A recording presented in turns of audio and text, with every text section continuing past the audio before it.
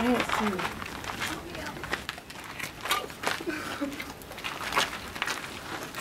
What did you write on there? I just curved mine. Where? If you said it earlier, I didn't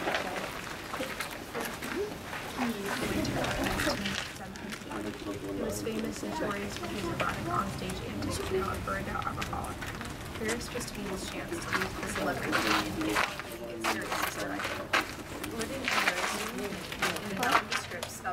department.